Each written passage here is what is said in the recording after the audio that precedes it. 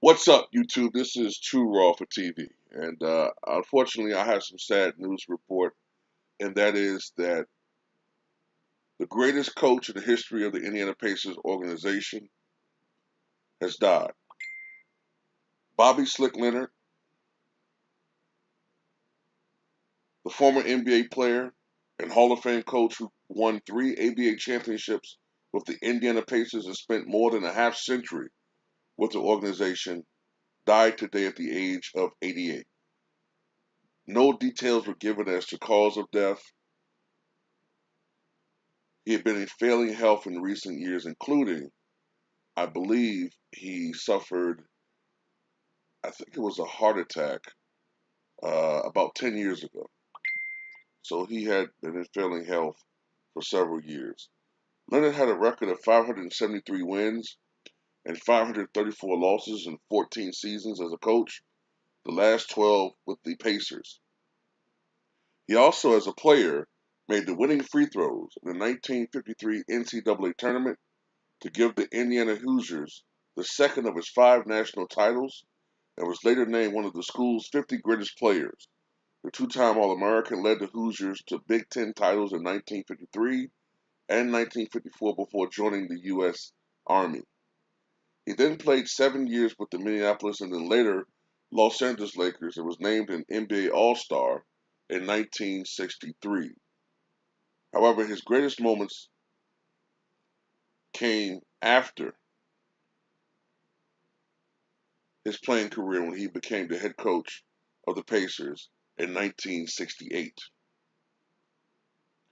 Team owner Herb Simon said today in a statement Pacers fans will remember Bobby Slick Leonard as the spirit of our franchise.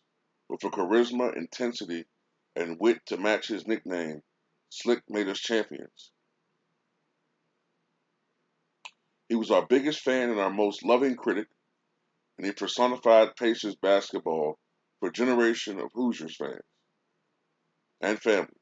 Most importantly, though, Slick and his wife Nancy are our family, and his passing leaves an unfillable void in the hearts of everyone associated with this organization.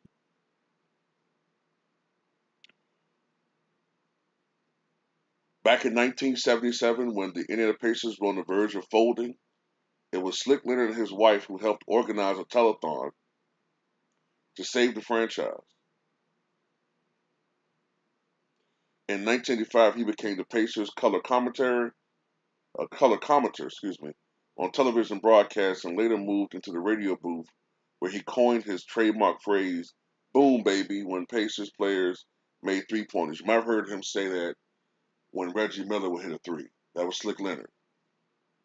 He was the best coach I ever played for in last shot pressure situations, Hall of Fame player George McGinnis said recently. In the seventh game, he would change the entire offense. It was genius.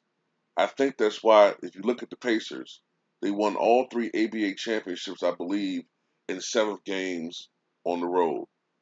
Leonard was inducted into the Naismith Memorial Basketball Hall of Fame in 2014.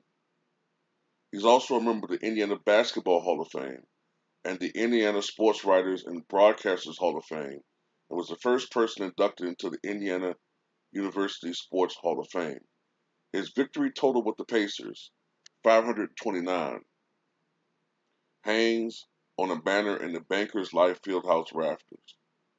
Salute to the greatest coach in history of the Indiana, Indiana Pacers franchise, Bobby Slick Leonard, who passed away today at the age of 88.